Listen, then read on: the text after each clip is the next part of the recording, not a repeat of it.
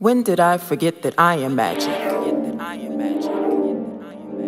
All sparks and splendor, footsteps, guided by bravery, heartbeat that pushes the culture forward in a world where networking is inferior to nonsense, where common sense plays subordinate to dollars and cents looking at life with the same eyes but see it so differently now. Sensationalism. For sheep who trade backpacks for White Lives Matter shirts like trading teachings to be a target, but we still love the music. It sticks to the ribs like soul food.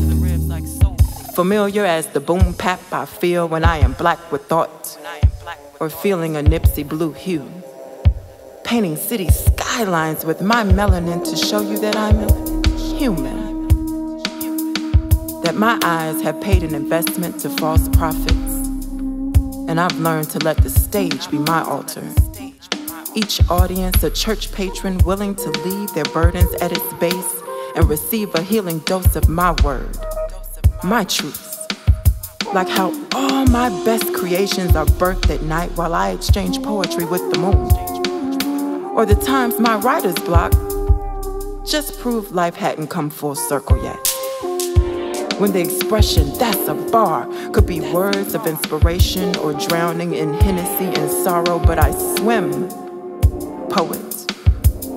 Break through the water's surface and inhale life, knowing I'm on the precipice of my power, pulling light from my own darkness and transmute it into love, pour it back into you with a poem. I built my own Sistine Chapel in the cosmos. Because when I leave this earth, I'll be remembered as a salacious sativa smoking siren elevating, fingertips flowing over free verse, leaving my mark on you.